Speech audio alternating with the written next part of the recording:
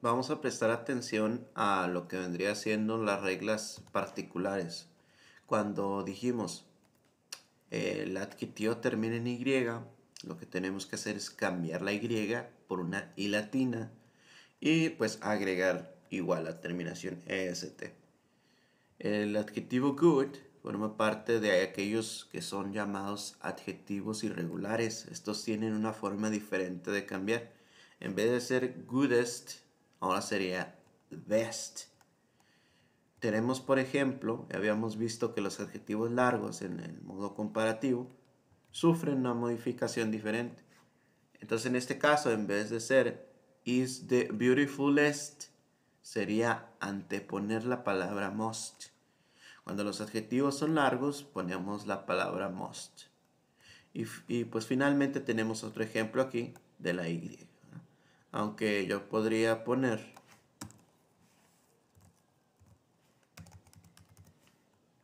big. Otro ejemplo de regla. Aquí está. Doble G cuando el adjetivo tiene esta estructura precisa. Consonante, vocal, consonante. B y G se duplica la última letra. ¿Va? Entonces ahora mi oración diría, Julian is the happiest boy in his family.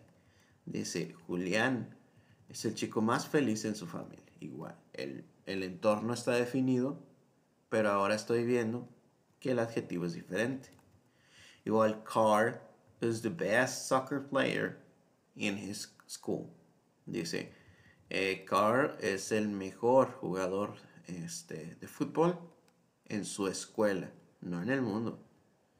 Y la otra diría, Karina is the most beautiful girl in this classroom. Dice, Karina es la chica más hermosa en este salón de clases. Y finalmente tengo otra oración. Dice, Tino is the biggest boy in this course. Tino es el chico más grande en este curso. Puede ser un chico grande en tamaño, ¿verdad?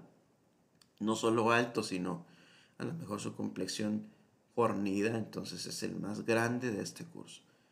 Si se dan cuenta, las reglas para conjugar estos adjetivos son muy fáciles. Son pocas y son, son pues sencillas. Esto nos permitirá memorizarlas de una manera más rápida y pues ahora sí que dominar estos grados de los adjetivos.